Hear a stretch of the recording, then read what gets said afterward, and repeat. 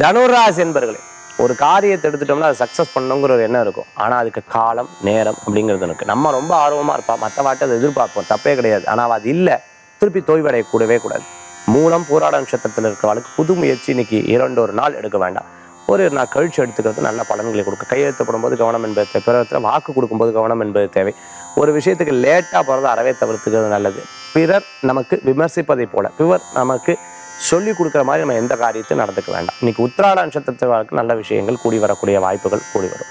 அதே மாதிரி பார்த்துட்டோம்னா புதிய பொருட்கள் வாங்கணுங்கிற ஒரு எண்ணங்கள் மனசில் நினச்சிட்டு ஒரு இடத்த வாடகைக்கு போகிறது ஒரு தொழில் இடம் மாட்டும் போது ஒரு நாள் கழிச்சு டிசிஷன் எடுக்கிறது தப்பே கிடையாது. அவள் அவசரப்பட்டான்னு கொண்டு போய் பணத்தை கொடுத்துறாங்க இன்றைய தினத்துக்குண்டான அதிர்ஷ்டமான எண் ஒன்பது நிறம் ராமர் பச்சை. வழிபாட்டுக்குண்டான தெய்வம் ஆஞ்சநேயர் வழிபாடு வெற்றி வழிபாடு.